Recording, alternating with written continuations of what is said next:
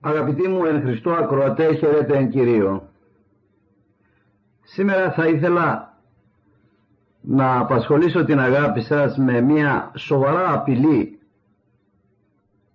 η οποία πάντοτε καιροφυλακτεί να δημιουργεί θύματα. Είναι η απειλή λεγόμενη του αλκοόλ. Δεν ξέρω αν σας έχει απασχολήσει ποτέ αυτός ο μεγάλος κίνδυνος της ανθρωπότητος. Μόνον οι αριθμοί που διαθέτουν μια γλώσσα συντριπτική και μια ρητορία και πιστικότητα αναφυσβήτητη μπορεί να διαγράψουν και να παρουσιάσουν την απειλή που παραμονεύει και ελοχεύει στην τόσο αθώα και ευχάριστη αυτή χρήση του αλκοόλ. Οι αριθμοί αυτοί στην Αμερική παραδείγματι παρουσιάζουν ότι οι άνθρωποι που πίνουν και δεν μπορώ να πω στην υγειά τους η ευχή δεν φτάνει διότι δεν πίνουν στην υγειά τους. Πολλοί πίνουν στην καταστροφή τους. Φτάνουν στα 70 εκατομμύρια. Άλλες εκτιμήσεις ανεβάζουν τον αριθμό σε 100 εκατομμύρια Δηλαδή περίπου στο μισό πληθυσμό της χώρας αυτής υπάρχει το αλκοόλ. Βέβαια η πλειονότητα από αυτούς είναι ευκαιριακοί πότες ή πίνουν έτρια. Πέντε όμως εκατομμύρια είναι στο στάδιο του πότη που δημιουργεί πλέον πρόβλημα. Και να φανταστείτε ότι ο αριθμός αυτός κάθε χρόνο αυξάνει. Έτσι ο αλκοολισμός μόνος στην Αμερική σήμερα αλλά και σε όλο τον κόσμο καταντάει να είναι ένα από τα κύρια υγειονομικά προβλήματα. Το τραγικό είναι ότι στην κατάσταση αυτή ο άνθρωπος φτάνει εν επιγνώση ή άντε για να μην είμαστε υπερβολικοί εν γνώση.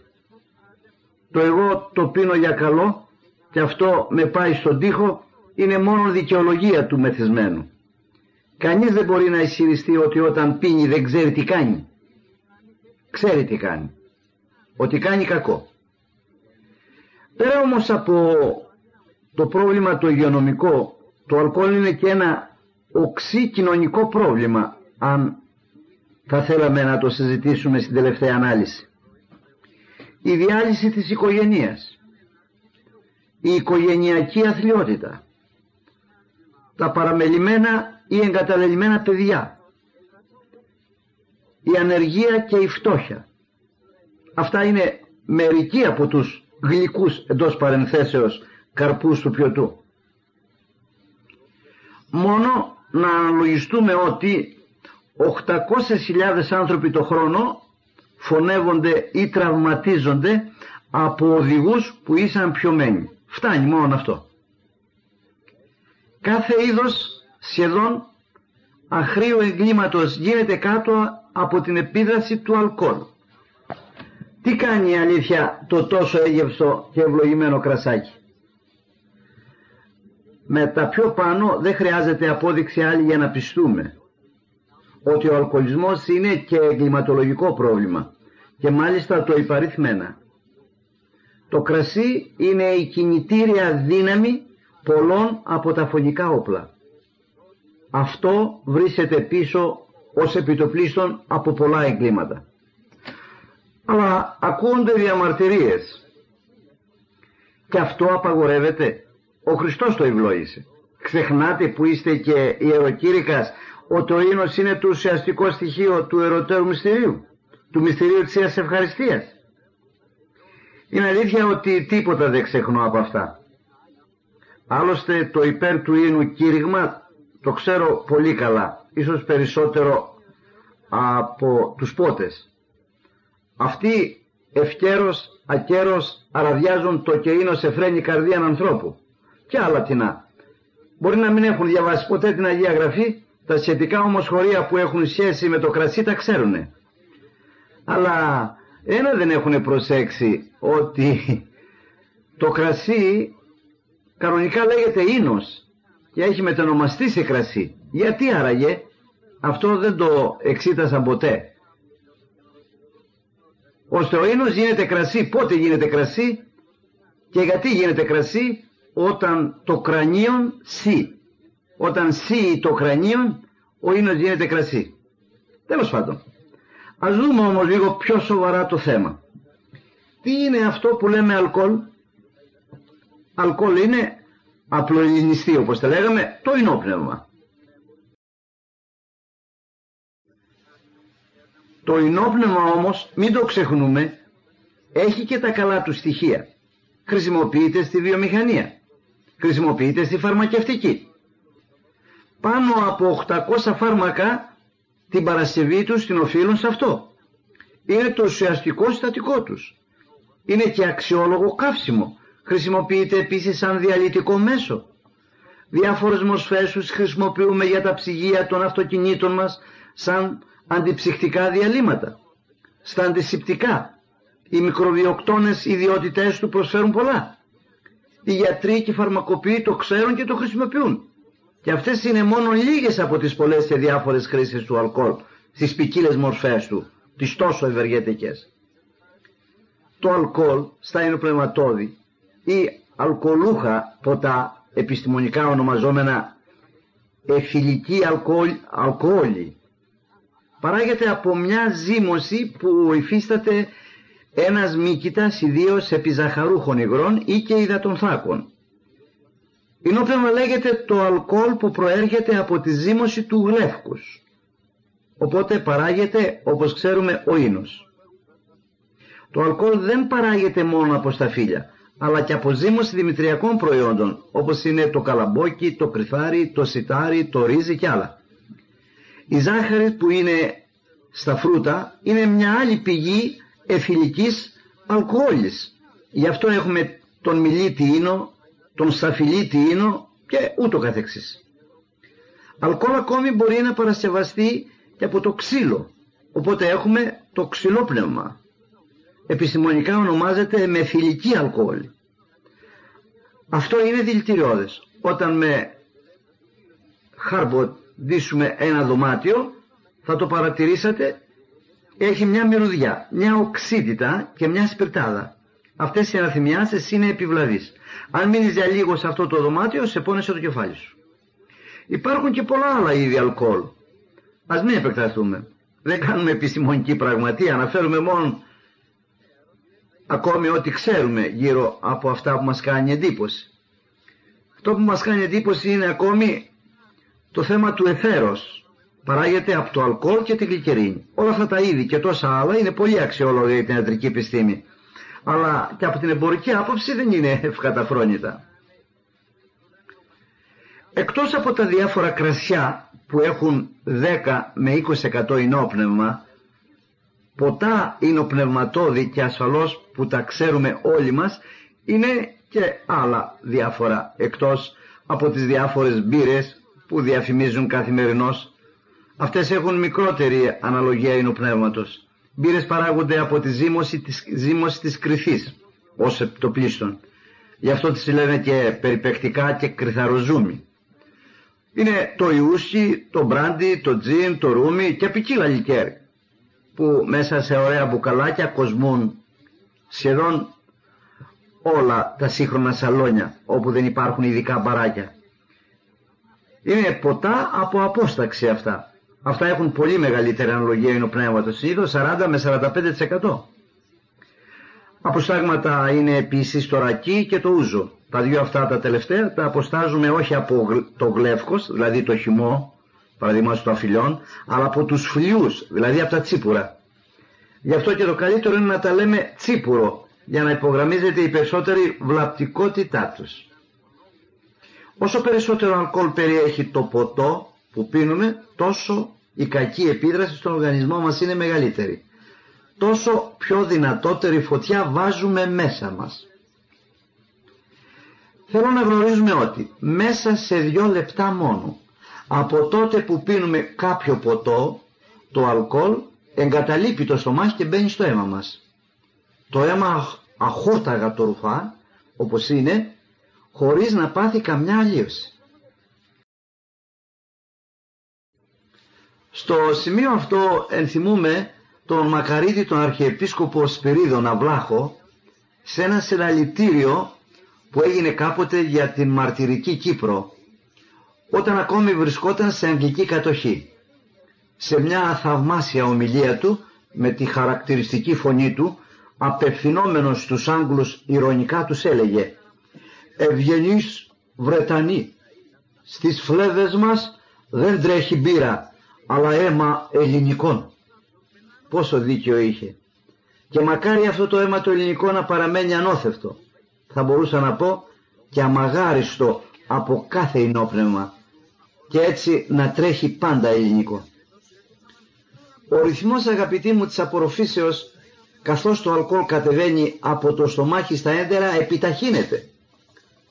Έτσι εξηγείται γιατί όταν το πίνουμε χωρίς φαγητό, δηλαδή νηστική, ξεροσφύρι όπως λένε ορισμένοι, μας ζαλίζει. Είναι γιατί η επίδραση του αλκοόλ όταν κανείς πίνει με αδιανό στομάχι είναι άμεση.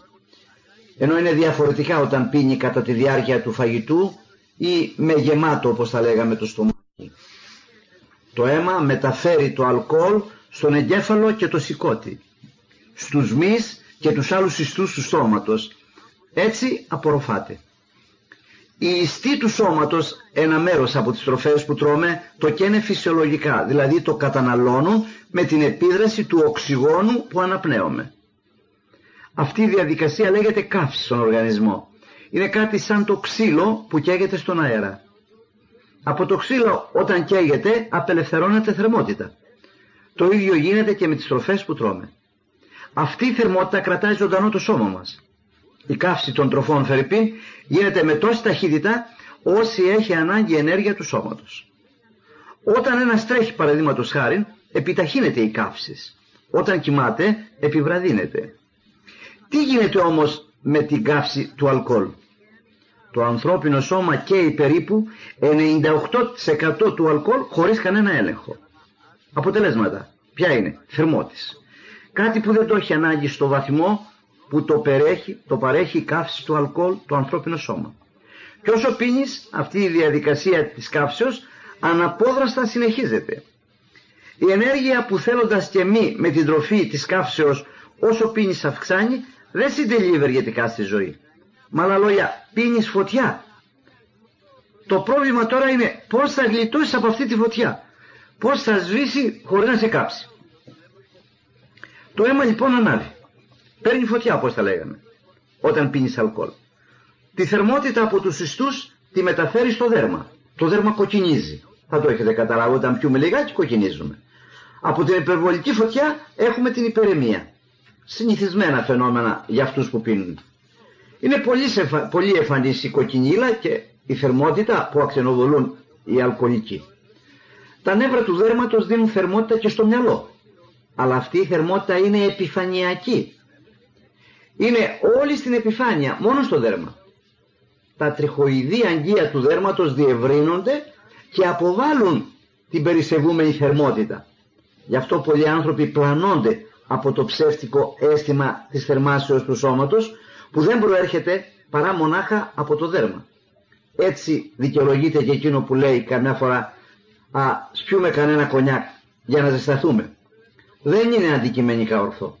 Τις περισσότερες φορές αντί για να ζεσταθούμε και είμαστε.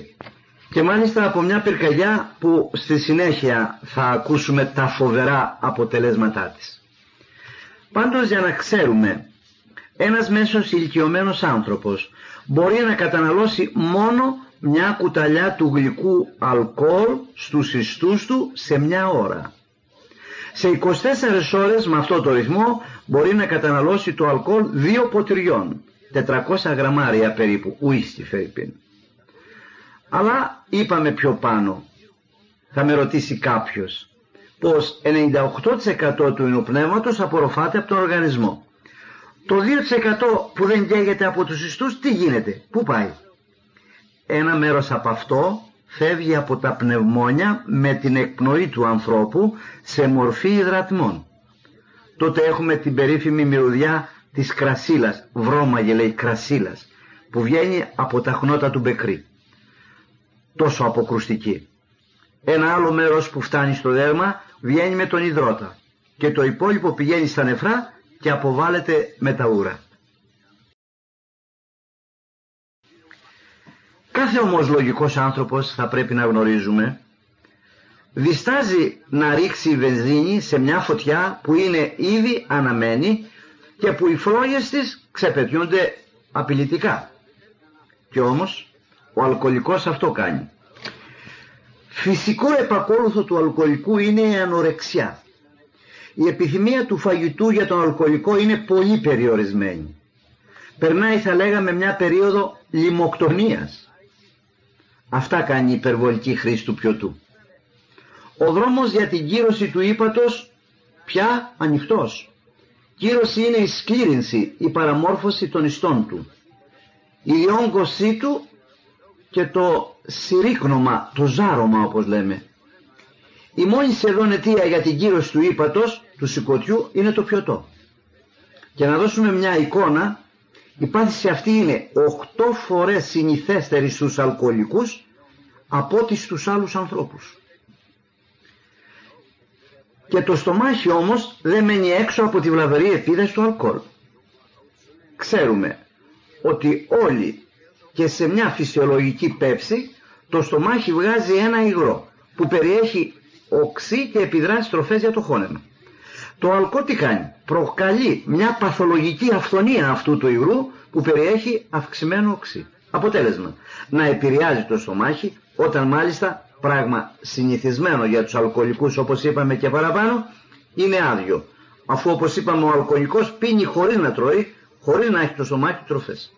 Γι' αυτό και τα έλκη στους αλκοολικούς είναι πιο συχνά. Είναι κάτι το συνηθισμένο. Το σηκώτη και το στομάχι δεν είναι τα μόνα που προσβάλλει το ενόπρεμα. Η πελάγρα με κοιλίδες κόκκινες στο δέρμα, παραλύσεις στα χέρια και στα πόδια, το τρεμούλιασμα, διαγερσή συναισθηματική και σε βαριές περιπτώσεις σοβαρή ψυχοπάθεια. Δεν προχωρούμε άλλο. Υπάρχουν και άλλα. Με όλα αυτά δεν αποκλείουμε ένα ποτήρι κρασί στο φαγητό μας. Αλλά προσοχή όμως. Το ένα συν ένα για το κρασί κάποτε έχει σαν αποτέλεσμα το 11, όχι το 2. Το επαναλαμβάνω αυτό το πράγμα. Δεν αποκλείουμε ένα ποτήρι κρασί στο φαγητό μας. Αλλά προσοχή, διότι το ένα συν ένα για το κρασί κάποτε έχει σαν αποτέλεσμα 11 να φτάνει και όχι 2. Εν πάση περιπτώσει. Λέγουν ορισμένοι. Ήπια λίγο κρασάκι για να μου καθαρίσει το μυαλό. Ξέρεις, με βοηθάει να στέπτουμε πιο γρήγορα, πιο καθαρά. Να μια πλανεμένη εντύπωση πέρα για πέρα. Τα διαγερτικά αγαπητοί μου είναι παραδεχούμενα, αυξάνουν τις σωματικές λειτουργίες, αλήθεια. Το αλκοόλ όμως τις παραλύει. Είναι αποχαυνωτικό, ναρκώνει τα νεύρα. Όταν πιείς, μάλλον θέλεις να πέσεις να τον πάρεις λιγάκι, να κοιμηθείς δηλαδή. Τι να κάνεις, όταν τα πόδια σου δεν σε κρατάνε και από μυαλό, όπως λέμε έγινε σκουδούνι. Ότι τότε δεν νοιάζεσαι, δεν σου καίγεται καρφί, πράγματι και δεν στροχωριέσαι για τίποτα. Μάλιστα, συμφωνώ. Με μερικά ποτηράκια πάνε κάτω τα φαρμάκια. Ε, αυτό δεν εννοείς. Δηλαδή τα ποτηράκια που καταπίνουμε πάνε κάτω και τα φαρμάκια. Όταν ξεζαλιστούμε όμως από το κρασί βλέπουμε ότι μένουν τα ίδια τα φαρμάκια ή μάλλον και μεγαλώνουν. Το κρασί που πίνουμε μας καταπίνει τι μας καταπίνει; Τη δραστηριότητα για δουλειά, για προκοπή, για ευτυχία. Ε, αυτό το τελευταίο δεν καταπίνεται αγαπητοί μου. Από έναν έξυπνο άνθρωπο βέβαια. Το αλκοόλ αγαπητοί μου επιδρά στη συμπεριφορά ακόμη. Δεν πας, σε πάει. Δεν μιλάς εσύ, αλλά το κρασί.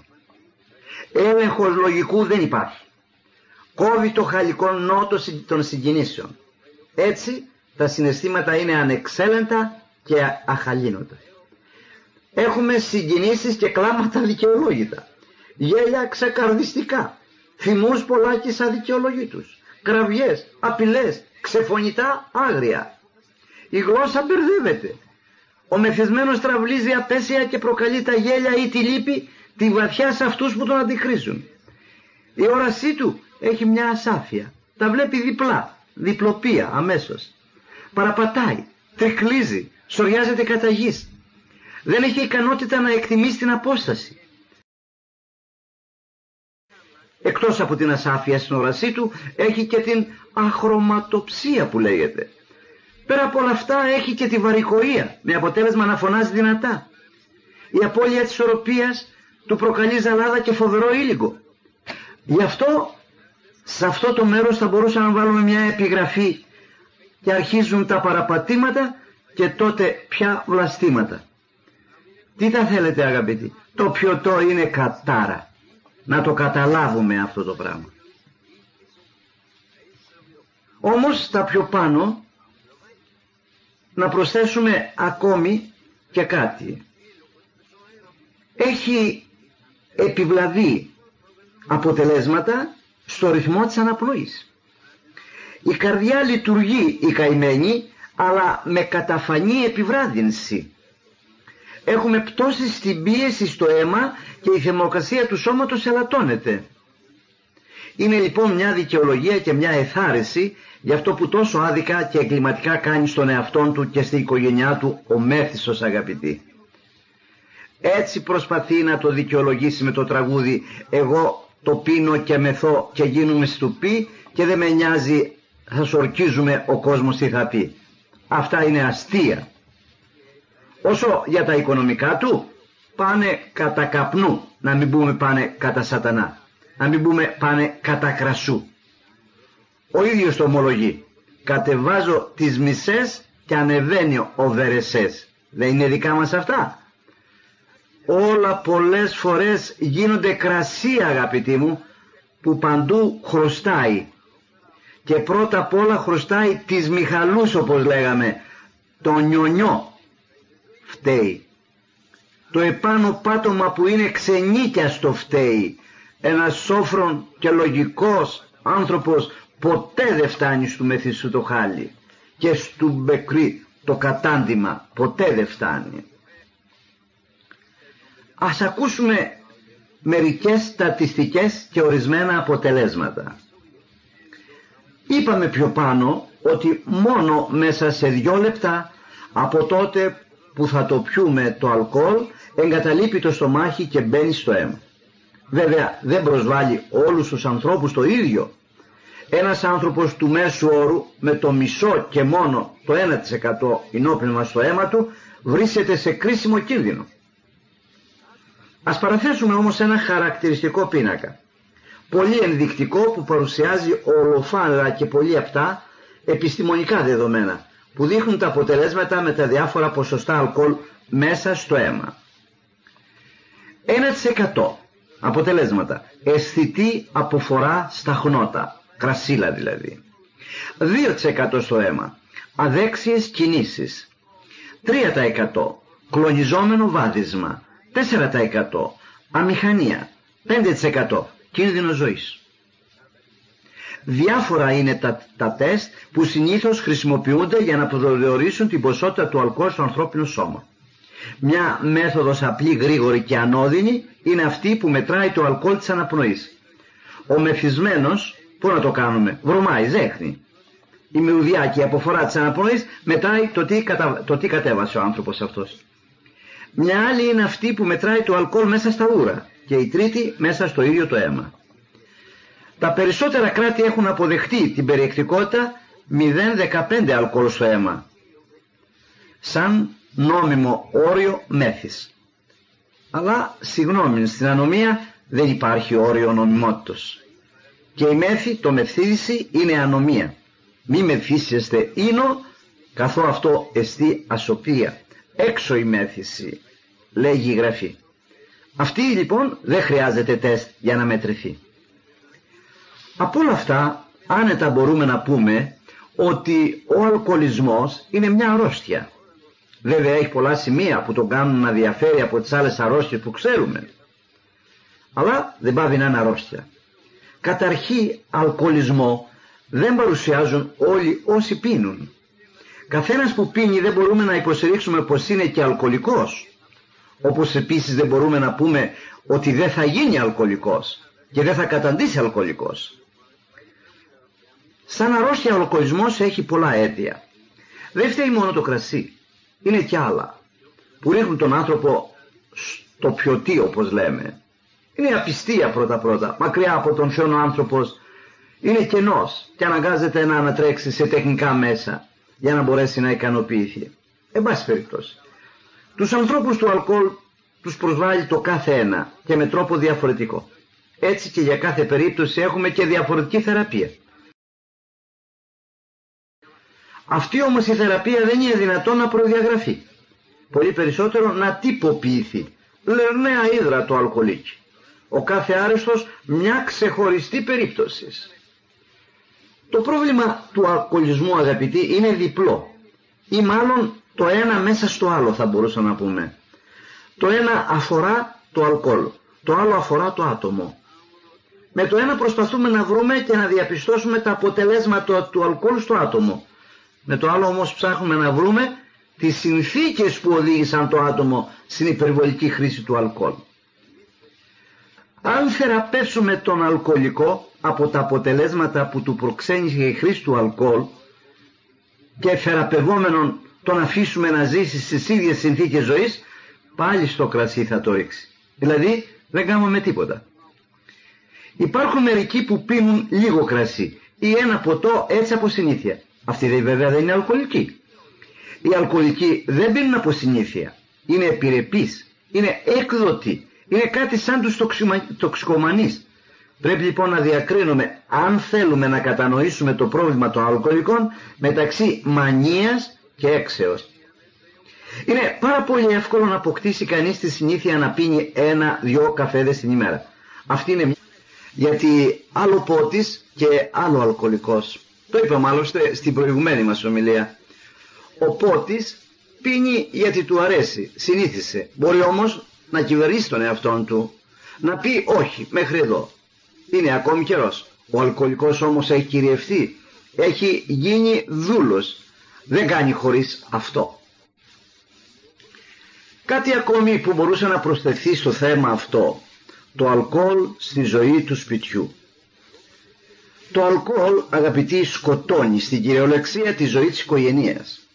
Πόσες και πόσες οικογένειες την ευτυχία τους, την προσωρινή και την ψεύτικη στο αλκοόλ την έχουν πληρώσει πολύ ακριβά; Και πόσες άλλες οφείλουν σε αυτό την τελεία καταστροφή τους; Δεν υπολογίζω τη φοβερή τροπή που νιώθει όλο το σπίτι όταν έναν μέλος του και μάλιστα ο αρχηγός, ο πατέρας, η μητέρα που θα έπρεπε να είναι στιτός και ολόθος στυλοβάτης και στήριγμα όλων τώρα παραπέει, τρικλίζει και σοριάζεται κατά γης κυριολεκτικός σύντριμα και ναυάγιο του αλκοόλ. Δεν σκέπτομαι πόσο εκτίθεται ένα σπίτι που έχει ένα μέλος του αλκοολικό με φύστακα όπως θα λέγαμε το πόσο διαπομπεύεται και πληγώνεται. Δεν σκέπτομαι τι ψυχικό δράμα περνούν όλοι τους, πόσο τους αφανίζει κάθε ίχνος χαράς και ευτυχίας. Μόνον ένας σκέπτομαι τις οικονομικές επιπτώσεις που έχει αυτό το καταραμένο πιωτό για το σπίτι. Όταν ο αρχηγός, σε παραδείγμα της οικογένειας, καταντήσει αλκοολικός, η οικογένεια εφίσταται δεινό οικονομικό πρόβλημα. Βουλιάζει πραγματικά στα χρέη. Ένας μέσος οικογενειάρχης ίσια που τα φέρνει βόλτα με τις ανάγκες του σπιτιού του κερδίζει τόσα όσα ακριβώς του χρειάζονται για να ζήσει και αυτός η οικογένειά του. Ας παραδεχτούμε αυτό. Αν τώρα έχει προσωπικά έξοδα σε πιωτό, ανατρέπεται ο οικονομικός του προπολογισμός. Οι προσωπικές του καθημερινές καταθέσεις στην τράπεζα της ταφέρνας είναι πολύ φυσικό να ανατινάξουν το σπίτι στον αέρα. Τα παιδιά του στερούνται από πράγματα που τα έχουν απολύτως ανάγκη. Η γυναίκα του και με το δίκαιο της γκρινιάζει και διαμαρτύρεται. Καυγάδες, λογομαχίες, σκηνές ανεπανόρθωτες. Μια γενική αναστάτωση για να μην πω διάλυση του σπιτιού παρατηρείται. Όρεξη για δουλειά δεν υπάρχει. Η απόδοσή του πέφτει. Οι απουσίες από τη δουλειά του καθημερινά αυξάνουν. Ο εργοδότης του προβληματίζεται, αγανακτεί και τελικά τον απολύει τον μέθιστο. Ψάχνει να βρει άλλη δουλειά. Ύστερα από πολλούς κόπους και ψάξιμο βρίσκει παραδείγματι. Αλλά και σε αυτή λίγο θα μείνει. Το κρασί θα τον απολύσει και πάλι. Του έχει βρει αυτή τη δουλειά δυστυχώς. Αν πίνουν και οι δυο, τότε είναι για μεγάλα κλάματα και για πολλά. Πατέρας δηλαδή και μάνα. Κακόμοιρα παιδιά τότε. Εγκαταλελειμμένα. Άπλητα. Αδιάβαστα. Γυμνά. Νηστικά. Αν πίνει ο ένας, πώς επίσης να υπάρξει δεσμός αγάπης; Η πίκρα και ο πόνος, ο αβάσταχτος οδηγούν και στην έλλειψη της εκτιμήσεως και του σεβασμού. Η τραγωδία, όπως ξέρετε, του χωρισμού πλησιάζει. Η διάλυση του σπιτιού με διαζύγιο δεν είναι μακριά. Άλλωστε δεν είναι μόνο αυτά τα οποία απορρέουν από τον αλκοολισμό. Έχουμε και άλλα. Έχουμε τα ατυχήματα από ένα ατύχημα. Πλήστα από τα αυτοκινηστικά ατυχήματα οφείλονται στο ατύχημα ανθρώπων που ήσαν πιωμένοι. Και συγκεκριμένα, ο οργανισμός Φερρυπίν προλήψεως ατυχημάτων στην Αμερική διεπίστωσε ότι σε ένα από τα τέσσερα θανατηφόρα αυτοκινηστικά ατυχήματα συμμετείχε ένας οδηγός ή ένας πεζός πιωμένος. Μερικά που δείχνουν πως το πιωτό ελαττώνει την ικανότητα για την οδήγηση είναι τα εξής.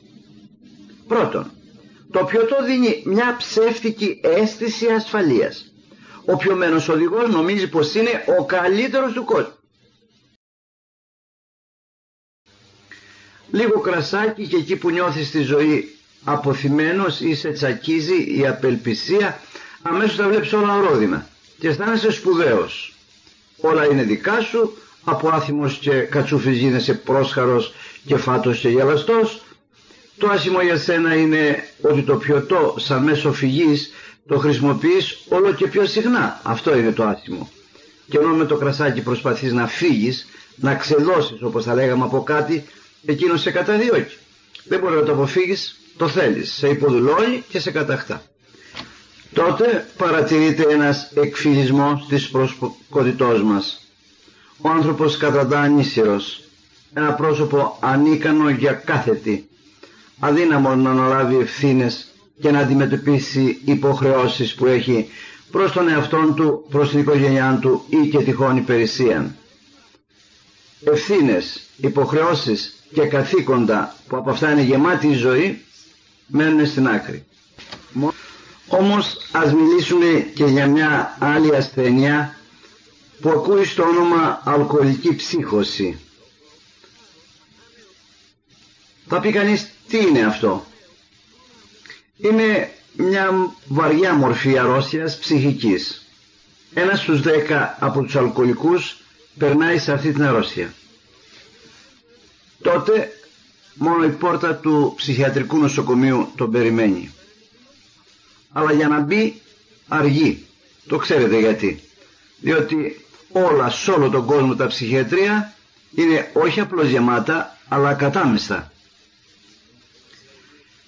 Ποια τώρα είναι η αιτία της αλκοολικής ψυχώσεως ίσως ρωτήσει κανείς; Δεν ξέρουμε ακριβώς. Πιθανόν να οφείλεται στην τοξική δράση του αλκοόλ πάνω στον νευρικό ιστό. Μπορεί να συντελούν και άλλες αιτίες όμως. Το ταλέπορο θύμα, παραδείγματι από την αλκοολική ψύχωση, είναι σε κατάσταση δραματική και αξιοθρύνητη. Παθαίνει τέτοια σύγχυση που δεν είναι σε θέση να αναγνωρίσει ούτε τα μέλη της οικογένειας ούτε το ίδιο τον εαυτόν του δεν ξέρει. Τρομερές ψευδεστήσεις τον οδηγούν σε μια οπτική φρίκη. Παθαίνει το λεγόμενο delirium tremens, τρομερό, τρομόδες παραλήρημα. Στις ψευδεστήσεις που παθαίνει βλέπει ζώα να έρχονται κατ' πάνω του και να του επιτίθονται έχει απώλεια μνήμης και σε πρόσφατα γεγονότα ακόμη. Γι' αυτό επινοεί ιστορίες φανταστικές προσπαθεί έτσι να γεμίσει το χάσμα της σκέψεώς του. Εκτός από την ψυχοθεραπεία, η αλκοολική ψύχωση, για να γίνει καλά ο άρρωστος, θέλει και αυστηρή ρύθμιση της διατροφής και χορήγηση βιταμινών. Είναι ένα τραγικό πράγμα το να φτάνει κανείς μέχρι εκεί. Βέβαια είναι και ο Χριστός ο οποίος ρυθμίζει τα θέματα. Είναι η θρησκεία, είναι η πίστη, είναι ο εκκλησιασμός, είναι η προσευχή. Αλλά ως επιτοπλίστων στους ανθρώπους αυτούς είναι ξένα αυτά. Διότι αν είχαν σχέση με τη θρησκεία, αν είχαν σχέση με την εκκλησία, με την προσευχή, με την εξομολόγηση, με τη Θεία Κοινωνία, θα έβλεπαν ότι δεν έπρεπε να καταπιαστούν με αυτό καθόλου και δεν θα έφταναν σε αυτή την κατάσταση. Εν πάση περιπτώσει, έχουμε και μία άλλη πλάνη πολλών ανθρώπων που παρασύρουν στον αλκοολισμό που θα μπορούσαν να ερωτηθούν και απαντούν μόνοι τους στο ερώτημα αυτό για τους ελέγχει. Θα με ρωτήσετε λέει γιατί πίνω. Ναι θα σε ρωτήσουμε γιατί πίνεις. Το απαιτεί μία στοιχειώδης κοινωνικότης που έχω. Όλοι οι φίλοι μου πίνουν. Εγώ θα κάνω εξαίρεση. Δεν μπορώ να είμαι δακτυλοδεικτούμενος, θέλω να είμαι σαν τους άλλους. Και καταλαβαίνετε πόσο αστείο είναι αυτό. Ώστε οι άλλοι αν είναι και κακούργοι πρέπει να είσαι σαν τους άλλους, αν είναι πόρνια, αν είναι μοιχή, αν είναι θα πρέπει να είσαι σαν τους άλλους. Γιατί να μην είσαι εξαίρεση. Και εντούτοις υπάρχουν τέτοια αστεία. Άμα πίνεις, πώς να το κάνουμε, είσαι κοινωνικά καθώς πρέπει, προσθέτουν. Το να σερβίρεις στο σπίτι σου ποτά πνευματόδη είναι και λίγο σικ. Είμαι σύγχρονος άνθρωπος λέει ο άλλος. Δεν μπορώ να είμαι ντεμοντέ. Έχω καιρό για χαμομήλι. Θα έρθει η σειρά μου. Να, μερικά ατράνταχτα με ερωτηματικό επιχειρήματα ορισμένων αλκοολικών. Κινηματογράφος δυστυχώς, τηλεόραση και μάλιστα με ατελείωτες διαφημίσεις τους για τα ποτά έκαναν για αυτά και τη διάδοσή τους πάρα πολλά. Έπειτα με το να πίνεις όπως και με το να καπνίζεις κάνεις κάτι. Δεν μένεις αργός. Το να πας σε ένα μπαρ βρεις εκτός από το πιωτό και παρέα. Λύνεις το πρόβλημα της μοναξιάς. Προσθέτουν άλλοι. Και μάλιστα παρέα ευχάριστη και λαλίστατη. Γιατί ο ίνος όπως ξέρετε, όπως λέγανε οι αρχαίοι, φιλολόγους ποιοι. Εννοείται στην αρχή λίγη η γλώσσα, μετά όταν πιείς λίγο παραπάνω τα μπερδεύει η γλώσσα. Το μίκρεμα των εργασιών των ημερών αγαπητοί μου από 6 σε 5 βοήθησε και αυτό πολύ στην οπνευματώδη κατανάλωση. Οι σημερινοί άνθρωποι είναι αλήθεια πως δεν έχουν πάντα καλές κοινωνικές αναστροφές. Το χρόνο της απαραίτητου αναπαύσεως που την έχουν τόσο ανάγκη και που τους δίνει τόσο άνετα η σχόλη των δύο ημερών, ο χρόνος λέγω αυτός ξοδεύεται να πίνουν. Η παρέα ως επιτοπολή είναι το κρασί σε αυτές τις περιπτώσεις. Διάβασμα, σπορ, ψάρεμα, ορειβασία, μουσική, συλλογές διάφορες, προσευχή, εκκλησιασμός, άλλα ευχάριστα και ωφέλιμα είναι απασχολήσεις για αυτούς άγνωστες ή και κουτές ακόμη. Αν και είναι τόσο ευχάριστες και ξεκούραστες όταν δεν τις αγνοούν, τις ηρωνεύονται. Δεν έχουν οι άνθρωποι σήμερα μια σωστή ψυχαγωγία. Μια όμορφη ερασταχνική απασχόληση. Έτσι το πιωτό προσφέρεται σαν εύκολη λύση. Είναι όμως μια καλά στημένη παγίδα όπως θα λέγαμε, μια απειλή. Η δικαιολογία και η υπεράσπιση για το πιωτό συνεχίζεται. Πολύ πρόχειρα ακούς να λένε «Ξέρεις, με βοηθάει να ξεκουραστώ από τη δουλειά μου. Γυρίζω κατάκοπος, σκοτωμένος. Πού να πας» Δεν μου αρέσουν και οι παρέες. Τις αποφεύγω. Είμαι δύσκολος άλλωστε στις γνωριμιές. Πού ξέρεις τι θα σου βγει αυτή η γνωριμιά; Εδώ με το πιωτό, με το κρασάκι σου, σκοτώνεις την ώρα σου ευχάριστα. Κάνει ωραία, καλή συντροφιά. Αυτά βέβαια είναι η εύκολη απολογία και η υπολογία αυτών που πίνουν. Δεν έχω καμία διάθεση αγαπητοί να παρατάξω διαφωνίες, Μόνο μερικές μικρές διορθώσεις, αν επιτρέπετε σε όλα αυτά, με το συγγνώμη βέβαια, ας το τολμήσω. Το πιωτό αγαπητοί συμφωνώ, είναι παρέα, αλλά πολύ κακή παρέα. Η γνωριμιά του μπορεί να οδηγήσει σε καταστροφή πολλές φορές. Σκοτώνεις έτσι την ώρα σου με αυτό. Είναι αληθινό. Αλλά και αυτό ύπουλα σιγά σιγά μα σταθερά σκοτώνει εσένα. Αν δεν προσέξεις να κυριαρχήσεις επάνω του και δεν επιβληθείς τον εαυτό σου, σε κυριάρχησε αυτό. Σε υποδούλωσε. Αφήνοντας κάθε φορά ακόμη ένα ποτηράκι που λέγει και το τραγούδι, να πίνεις ποτηράκι ποτηράκι είναι βήμα στο βήμα που οδηγεί στον αλκοολισμό. Δηλαδή στην καταστροφή, στο θάνατο. Όλα αυτά καλά. Τα παραδέχουμε θα μου αντιπαρατηρήσει κάποιος. Έλα όμως που δεν μπορώ να κάνω χωρίς πιωτό. Προσπάθησα να το κόψω, μα στάθηκε αδύνατο. Μου έχει γίνει απαραίτητο. Αυτός που λέει τα πιο πάνω και δυστυχώς δεν είναι ένας, έχει χάσει τον έλεγχο πλέον του εαυτού του. Του έφυγε το τιμόνι από τα χέρια. Υποδουλώθηκε και εξαρτάται πια από το αλκοόλ. Εκτροχιάστηκε. Τώρα το πρόβλημα δεν είναι γιατί πίνει, αλλά γιατί δεν μπορεί να σταματήσει να πίνει. Από το πιωτό για την κοινωνικότητα ή για ξεκούραση που πριν χρησιμοποιούσε, τώρα πίνει γιατί δεν μπορεί να κάνει διαφορετικά. Γιατί κατήντησε δηλαδή αλκοολικός. Μεταπίδησε τη γνωστή διαχωριστική γραμμή που χωρίζει έναν πότη από έναν που κατήντησε πλέον αλκοολικός.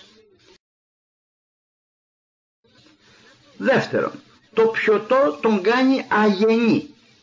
Σπάνια δίδει το προβάδισμα σε άλλον. Δύσκολο να αφήσει άλλον να τον περάσει. Τρίτον, το αλκοόλ του στερεί την ετοιμότητα, αυξάνει το χρόνο αντιδράσεως. Δηλαδή, ο πιωμένος θέλει περισσότερο χρόνο για να φρενάρει ή για να παρεκκλίνει προς αποφυγή κάποιου ατυχήματος. Τα αντανακλαστικά του δεν λειτουργούν καλά. Ακόμη, δεν μπορεί να ειδεί καλά ή να εκτιμήσει τις αποστάσεις καλά. Ακόμη, δεν έχει ακρίβεια στις κινήσεις του. Του λείπει και ο συντονισμός ο απαραίτητος των κινήσεων που πρέπει να γίνουν. Δεν προσέχει. Έχει μειωμένη προσοχή. Το μυαλό του γυρίζει αλλού. Σε όλα τα άλλα εκτός από την οδήγηση. Αδύνατον να τον συμμαζέψει αυτό το μυαλό. Είναι άλλωστε πολύ πιο δύσκολο στον οδηγό που έχει πιει να κάνει συσχετισμό των σημάτων κινδύνου με τον κίνδυνο.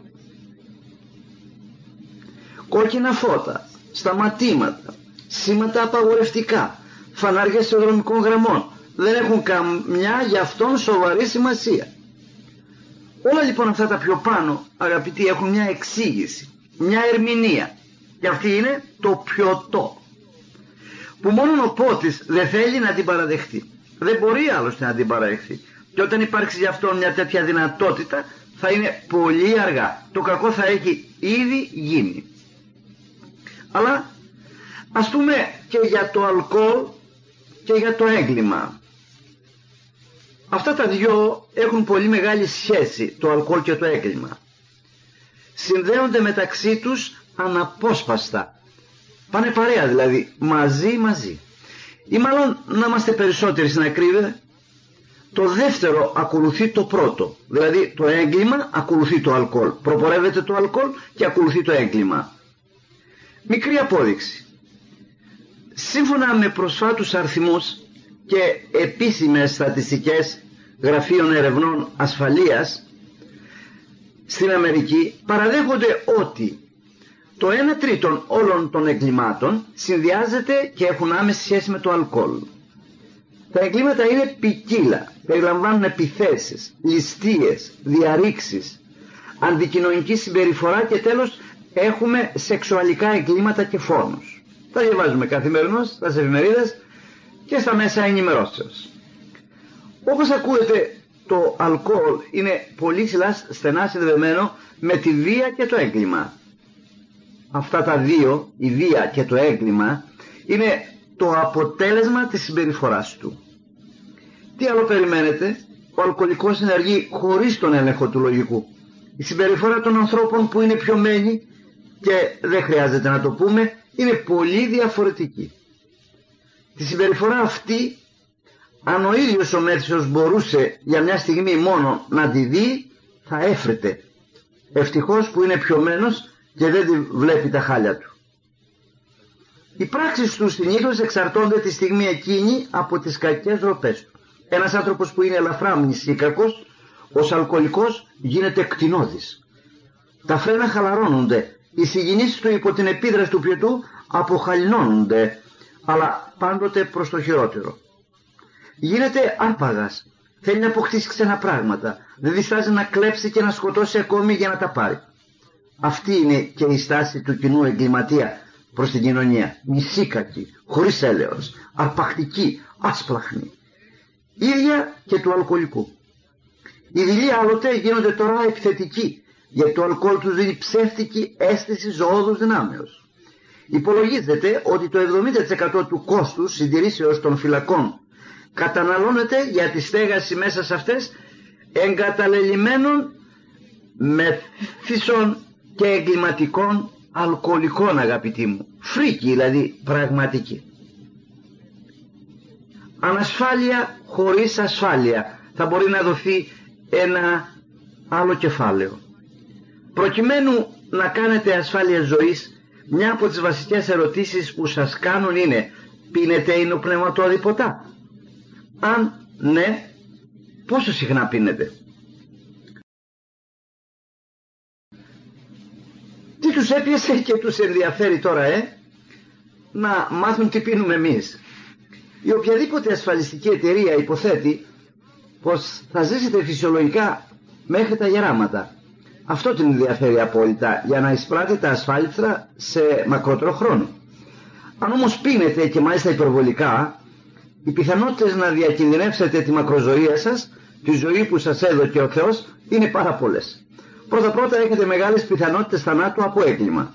Ύστερα σαν αλκοολικός ο οργανισμός σας έχει ελαττωματική και ελαττωμένη αντίσταση στις ποικίλες μολύνσεις. Και τέλος είναι φυσικό να υπόκειται σε οργανικές πατήσεις όπως είναι η κύρωση του ύπατος, τα διάφορα έλκη και άλλες. Ελάχιστοι ηλικιωμένοι άνθρωποι και μάλιστα πολύ αυθαίρετα ισχυρίζονται ότι οι προβολές του πιωτού τους συνετήρησαν στη ζωή. Αντίθετα, πολλοί ξαπλωμένοι στα κημητήρια, αν μπορούσαν να μιλήσουν, θα διετύπωναν διαφορετική άποψη. Θα τους ακούγαμε όμως εμείς; Δεν θα τους ακούγαμε δυστυχώς.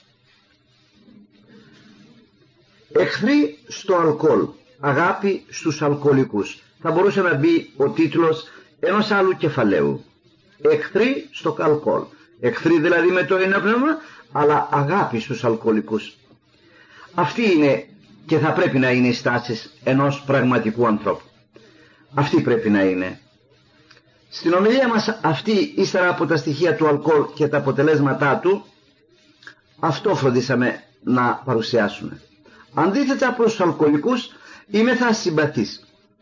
Δεν μας έχουν κάνει τίποτα οι άνθρωποι, αξίζουν μάλιστα τη φροντίδα, τη στοργή και την αγάπη μας πρέπει να τους σκεφτόμαστε και να τους αντιμετωπίζουμε σαν αρρώστους ανθρώπους. Σαν ανθρώπους που έχουν ανάγκη να βοηθηθούν. Που αξίζει τον κόπο να βοηθηθούν. Θεραπεία των αλκοολικών, ο αντιαλκοολικός αγώνας πρέπει να τύχει κρατική στοργής και μάλιστα λαϊκής υποστηρίξεως. Σε πολλά κράτη υπάρχουν ειδικές υπηρεσίες που απασχολούνται με τον αλκοολισμό και σύλλογοι που σκοπό τους έχουν την καταπολέμησή του. Διεξαγάγουν μάλιστα μελέτες εμπεριστατωμένες κάνουν έρευνες για τα αλκοολικά προβλήματα, επιστημονικά κατοχυρωμένες κλπ. Εφοδιάζουν με έντυπα σχετικά και χρησιμοποιούν, χρησιμοποιούν μέσα διαφωτιστικά εναντίον στον αλκοολισμό. Η στάση αυτή η τόσο πρόσφορη και επικοδομητική είναι τόσο αξέπαινη, δεν μπορούμε να πούμε αλλιώς. Σαν καρπός της που επετεύχθη ύστερα από μακροχρονίους αγώνες και προσπαθίες είναι η αλλαγή στη στάση των δικαστηρίων. Σήμερα ο μεγαλύτερος αριθμός των δικαστών, πρωτοδικών ανακριτών κλπ, δικαστικών υπαλλήλων, βλέπουν τον αλκοολικό σαν ένα πρόσωπο που έχει ανάγκη ψυχικής συμπαραστάσεως και συμβουλών και ιατρικής θεραπείας μάλλον, παρά σαν άτομο που πρέπει να τιμωρηθεί για τις δυσκολίες και τα προβλήματα που παρέχει εξαιτίας της μέσης του στο κοινωνικό σύνολο. Πολλές οργανώσεις επίσης ιδιωτικές και συλλογοι έχουν σαν έργο τους την καταπολέμηση του αλκοολισμού. Και αυτό σε όλο τον κόσμο.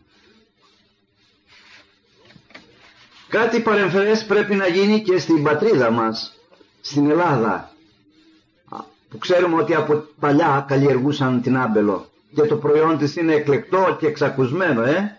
Ποιος δεν ξέρει την ξανθιά και κρυμπαρένια ρετσίνα. Το κρασάκι αυτό το αγνό, το μετρημένο, είναι η συντροφιά στον Έλληνα αγρότη, στον άνθρωπο της υπαίθου, τον κουρασμένο, το σκαφτιά. Κανείς δεν καταργεί τη χρήση του. Η κατάχρησή του κατακρίνεται.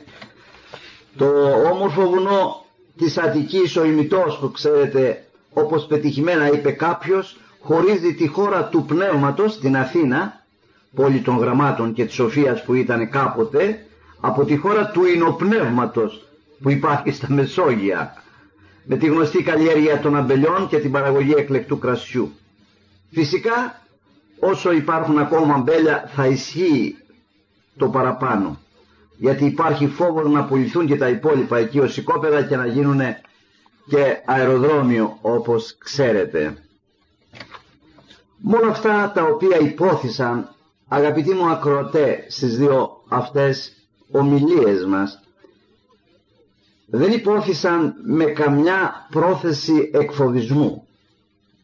Σκοπός ήταν η σωστή πληροφορία, η αντικειμενική ενημέρωση πάνω στο θέμα του αλκοόλ. Όπως θα διαπιστώσετε κι εσείς, το θέμα αυτό ενδιαφέρει άμεσα το κοινωνικό σύνολο, χωρίς λοιπόν κανένα φόβο προς το έγευστο κρασάκι που έδωσε ο Θεός. Για το οποίο ο Δαβίδ προφητικός έχει πει και είναι ως εφραίνει καρδία ανθρώπου ή οποιοδήποτε άλλο ποτό και μάλιστα όταν γίνεται χρήση λογική και μετρημένη καλό είναι να συνειδητοποιήσουμε και την απειλή γιατί πράγματι το αλκοόλ είναι μια απειλή απειλή και όσον αφορά το μέγεθος αλλά και τις τρομερές συνέπειες με τα τόσα καταστροφικά αποτελέσματα που έχει. Απειλή για όλους. Σε αυτό το μέρος θέλω να σταθώ, να κατασταλάξω, να προσγειωθώ και να τελειώσω και να ευχηθώ στον Αγίο Θεό όσοι δεν έχετε τη δύναμη να το κόψετε μόνοι σας διότι το προϊόν της θερήσεώς σας δεν κόβει είναι ξύλινο αποτανθείτε στον Θεό ζητήστε από τον Κύριον διαπροσευχής να σας απαλλάξει από τον πειρασμό αυτόν, από την καταστροφή, την σωματική και την πνευματική, διότι έχει πει σαφώς έξω η μέθηση, έξω η μέθηση και το επαναλαμβάνω, έξω η μέθηση. Ας ζητήσουμε από την Θεοτόκον όσοι την πιστεύουμε. Ας ζητήσουμε από τους προστάτας Αγίους μας που φέρουμε τα ονόματά τους όσοι τους παραδεχόμεθα. Διότι ο Χριστός μας είπε άνεσε μου ουδίναστε ποιήν ουδέν. Αλλά το θέλημα, το θέμα μας δεν είναι αν μπορούμε να κόψουμε το ποτό. Εάν θέλουμε να το κόψουμε και εκείνοι που σκοντάφτουμε ότι οι περισσότεροι μας δεν θέλουμε και εκεί είναι τα ουέ μας και εκεί είναι τα αλίμονό μας. Εύχομαι και πάλι στον Άγιο Θεό να μας ελεήσει να γίνουμε καλύτεροι κάθε μέρα που μας προσθέτει Αυτός. Και πάλι χαίρετε εν Κυρίω αγαπητοί μου ακροατές.